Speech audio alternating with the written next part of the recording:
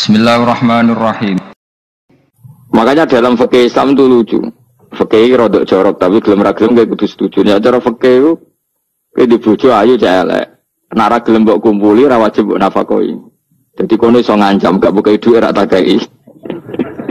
Ajane rodok jorok fikih. Itu cara fikih memang gitu. Perempuan itu tidak wajib melayani suaminya jika tidak dikasih nafkah. Dan lucunya fikih yang merovokasi sing lanang. Dan wong lanang ra wajib nafakoi nak ra dikai iku wis ora usah iku so.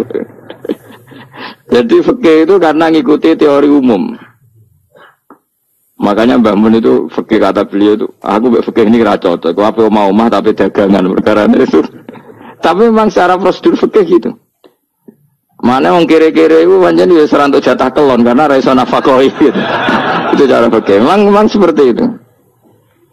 Karena kiri kok pola, no? Kiri kok pola.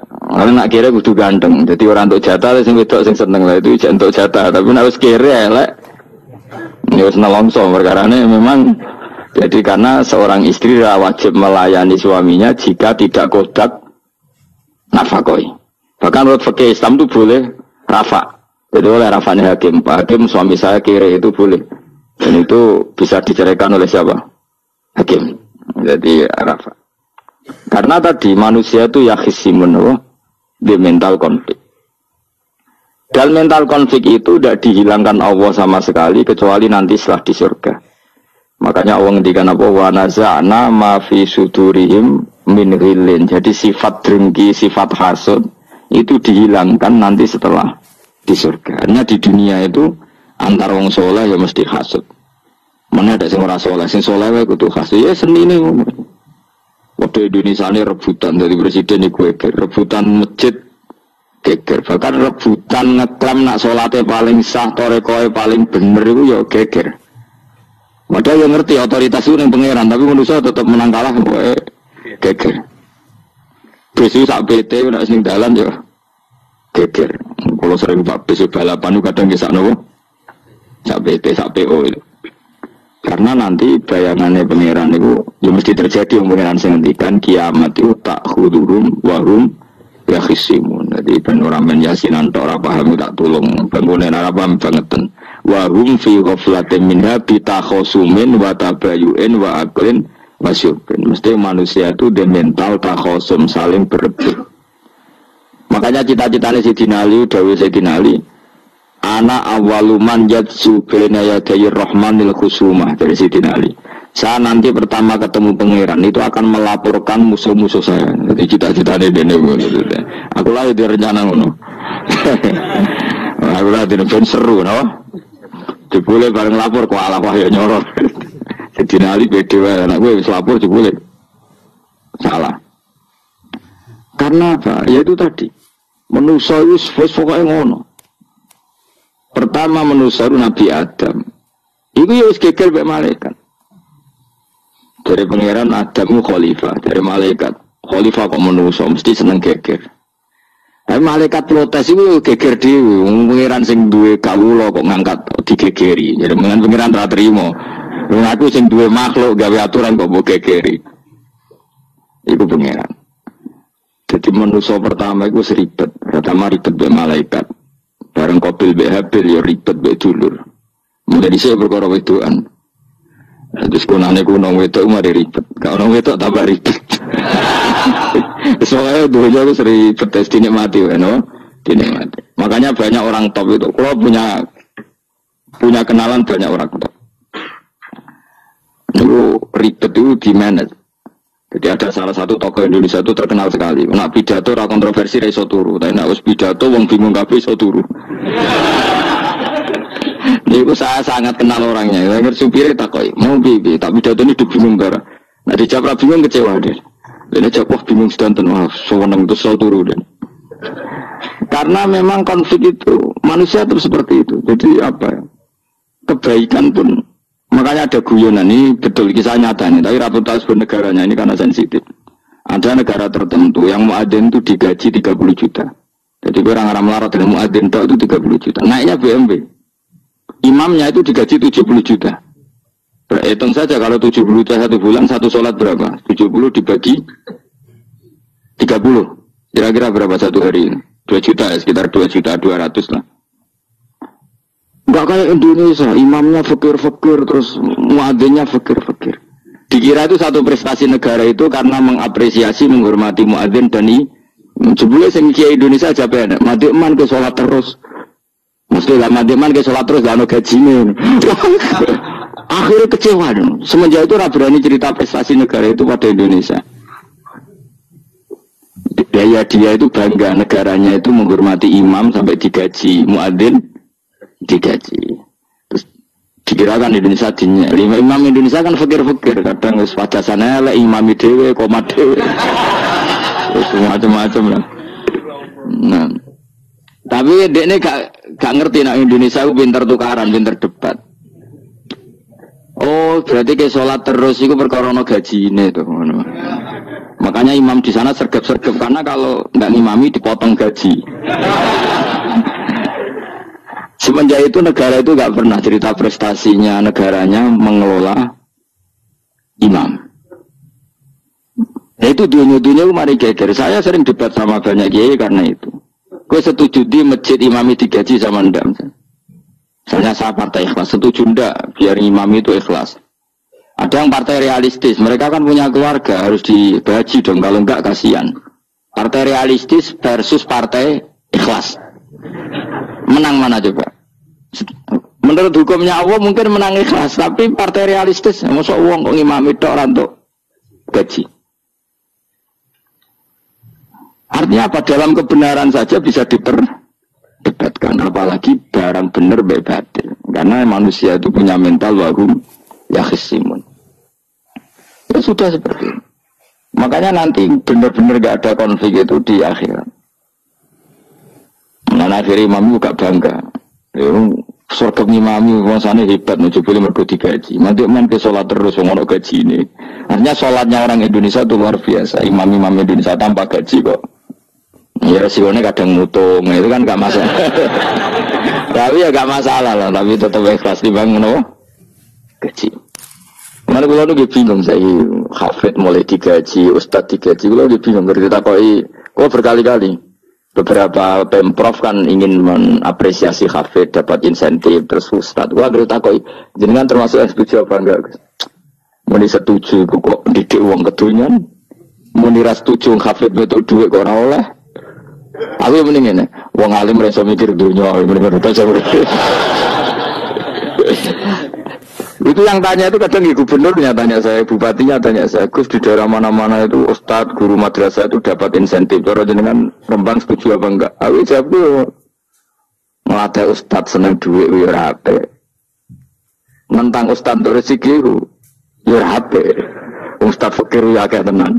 Nah, kalau kan keramat, gak mati, gak mati masalah, cara orang untuk gaji. Tapi kan tidak semua orang keramat. Nah, kalau kan keramat untuk gaji, untuk gaji tetap gagal. Tapi rata-rata ustad kan tidak keramat. Gak keramat, bojone cerewet. Cek kumpul mertua. Enggak, kalau sampean misalnya jadi enggak ini cerita wakisimun. Seman setuju enggak kalau ada kafe itu dapat insentif? Ayo ngaco. Setuju ora? Lho kok setuju kafe Terus gue senang kafe itu di mental materialistik. Setuju tak? Enggak. Terus dia setuju. Kafe terhadap duit. Mungkin ya, kalau itu berusaha aku. Jadi memang kebaikan saja bisa diperdebatkan. Makanya dulu kalau ulama, makanya istihad itu penting. Ulama dulu itu kalau gejolak-gejolakan itu, dalam hal yang tidak mujmalah ya tentu dalam hal yang tidak apa mujmalah itu gejolak-gejolakannya itu nggak pernah selesai karena memang sesuatu itu pasti mirip ke sana mirip kemari. Makanya disebut ro'yuna sawabun yahtamilul khoto wa ro'yuka khoto'un yahtamilul sawab pendapat saya itu taruhannya benar dulu tapi ya mungkin salah. Tapi pendapat anda salah tapi mungkin benar. Karena mirip-mirip. Misalnya zaman sahabat itu sudah jadi perdebatan gini. Setelah Mekah ditalokan Rasulullah dan setelah Rasulullah wafat, dan Islam sangat-sangat kuasa, bukan sekedar kuasa lagi sangat kuasa. Paling enggak menguasai Mekah Medina. Itu perdebatannya gini. Kita keluar Medina apa enggak? Sebagian sahabat enggak kita di Medina ini ardu Rasulillah, ini muhajaru Rasulillah, tempat yang dipakai istri Nabi. Kita keluar dari Mekah enggak, enggak usah. Sholat di Mekah itu fadilahnya sebagaimana seribu sholat. Wah debat gitu. Yang separuh enggak. Nguyai segoro apik to. Mekah Medina sekarang sudah jadi negara Islam, tapi banyak bumi lain yang belum ada Islam. Menyebarkan Islam itu penting enggak penting. Efeknya meninggalkan Mekah Medina. Hanya separuh sahabat yang meninggalkan Mekah Medina. Mimpi ini itu orang-orang keren kak Sayyidina Ali. Sayyidina Ali akhirnya asalkan Al Kufah. Dia hidup di mana? Kufah. Abu Darda hidup di Syam. Salman Al Farisi hidup di Palestina. Karena dia milih pendapat kok nguyai segoro. Sehingga sampai harus ditinggal. Akhirnya menyebarkan Islam ke mana-mana. Termasuk barokahnya madhab itu ada yang ke Cina terus terdampar di Selat Malaka terus ada yang ke Aceh. Makanya banyak yang berpendapat Islam masuk Indonesia ya era apa soha, sahabat. Tapi kalau ditanya bagaimana hukumnya meninggalkan Mekah Medina, ya buruk negara sebaik itu kok ditinggalkan. Tapi bagaimana hukumnya membiarkan bumi lain tanpa dai ya buruk. Terus kayak bi. Jadi dalam kebaikan saja ada perdebatan. Kayak gue yang misalnya, dia hukumnya dolan be konco traktir ya ape. Dia hukumnya neraktir konco nganggu jatah belajar di bucu. Elek. Akhirnya jadi ngelanang-lanang jono dewi ke sana jatah bucu atau jatah konco. Karena dia mau cukup, nah ora. Ya itu udah semua manusia itu wakumnya khisimun. Makanya Sampean kalau beda pendapat itu sing biasa wae. Coba wong saiki beda pendapat kebir. Beda pendapat itu sudah fitrah. Tidak mungkin lah. Kita ada beda pendapat itu tidak mungkin. Di kampung-kampung kalau ada masjid speaker di mana-mana saya sering ditanya. Wadah yang progus, anda ini nak adan juga banter-banter, mengerameni tongko. Nak niat sholat terus adan nak isteko. Ber. Sing sitok, sing sitok, yo ora kudu banter ben siar. Sing Mau sedemen dipisau itu, mereka sing ora seneng malah mau misoi itu, sing seneng tanpa adzan pun ya, tanpa adzan rame-rame maksudnya wes. Salat kami nanti. Dulu tuh perdebatannya gitu. Abu Bakar nak wiridan yang masjid tuh wirih banget, selirih-lirihnya. Umar nak wiridan bianter, tapi ranggusan sistem zaman itu, tapi banter aja. Tapi sengamen ini lah intinya sengamen. Ketika Abu Bakar ditanya, Rasulullah ya, ya Abu Bakrin kenapa kamu melirihkan suara? Jadi saya itu malu sama Allah. Dia itu zat maha mendengar. Jadi saya merasakan suara itu malu.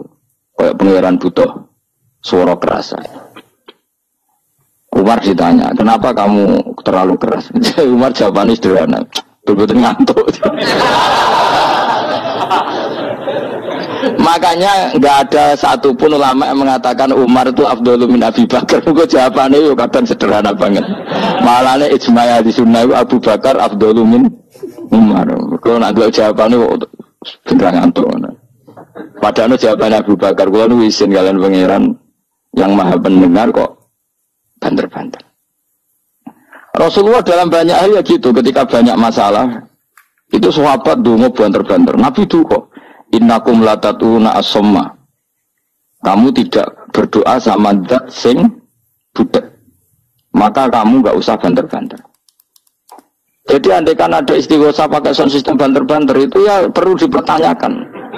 Lalu pengiran harus kerungu gegere ngono Tapi misalnya madhab itu kamu pakai, terus ada pertanyaan, dangdutan saja banter, kenapa kalimat ibadah boleh banter?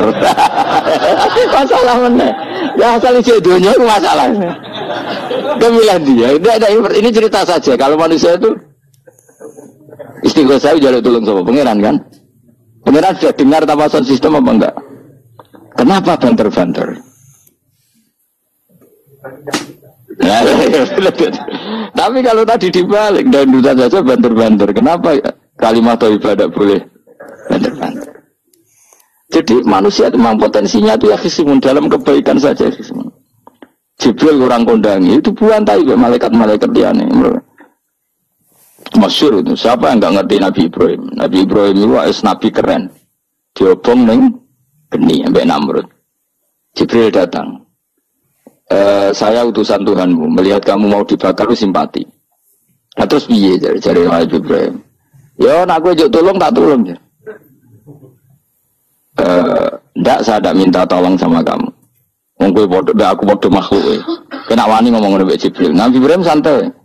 Maksudnya itu rabe aku sing nulung, kowe kondo aku tak kadakno pangeran. Jare malaikat Jibril, jare Nabi Ibrahim, lu nak soal pangeran rasa kondo kowe wis pirsa. Artinya ngene lho, padha kekasih pangeran itu bantah-bantahan.